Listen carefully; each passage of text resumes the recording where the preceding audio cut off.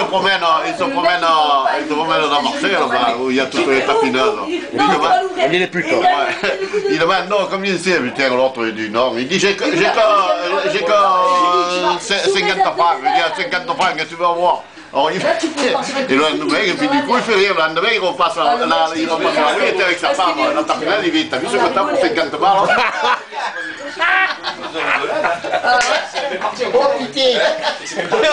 Oh putain t'as pour 50 Je vais appeler Thérèse au plus tôt là-bas. Il nous a tout fait. Je veux dire, je vais. Le moi.